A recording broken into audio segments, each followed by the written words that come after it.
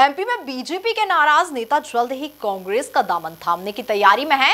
ऐसे में social media पर वायरल हो रही सूची पर नज़र डाली जाए तो लगभग चार से पाँच बीजेपी नेताओं की कांग्रेस का दामन थामने की संभावना बनती दिखाई दे रही है।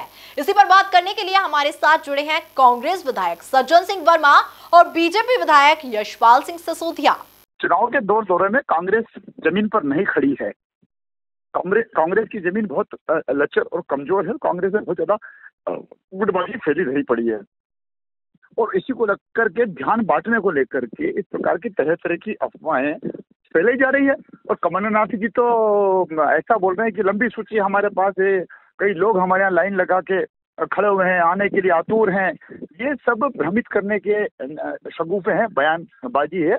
इससे भारतीय जनता पार्टी कहीं विचलित नहीं होगी। भारतीय जनता पार्टी का संगठन बूथ पर मजबूती के साथ अपने कार्यकर्ताओं को लेकर के पहुँच रहा है। बूथ विस्तारक योजना के साथ साथ हमारा डिजिटल डिजिटल और फ़िज़िकल हमारा मूवमेंट चल रहा है और हर बूथ पर भारतीय जनता पार्टी की पहनी और पक्की नज़र है। हम चुनाव के सारी उन परिस्थितियों का सामना करते हुए आगे की ओर अग्रसर हो रहे हैं। देखिए मध्य प्रदेश हो, छत्तीसगढ़ हो छत्तीसगढ़ में भी नंद कुमार साहब जैसा कद्दावर नेता है, जिसने कि छोटे से पौधे को बीजेपी के सीट के वट पर भी बनाया। हमारे मध्य प्रदेश के पूर्व मुख्यमंत्री स्वर्गीय कैलाश जोशी जी जो एक संत माने जाते थे, उनके सुपुत्र दीपक जोशी जी कई बार मंत्री रहे।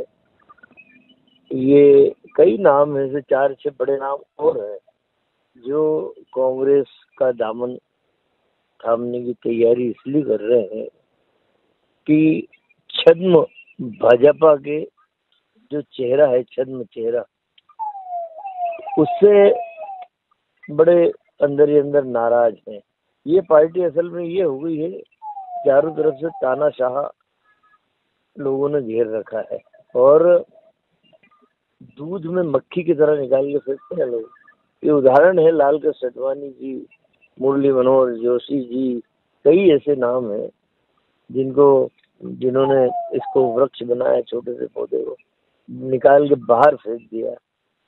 तो ये इनकी नीतियाँ ही, इतनी गलत है। अब देखिए, जब से अमित शाह और नरेंद्र मोदी ने पार्टी पे कब्जा किया, तब से जो ईमानदार भाजपा का नेता है वो कुंठा में जी रहा है, कुंठित है। उसको कहीं रोशनी दिखाई नहीं दे रही है। इसलिए लोग कांग्रेस का दामन थाम रहे हैं।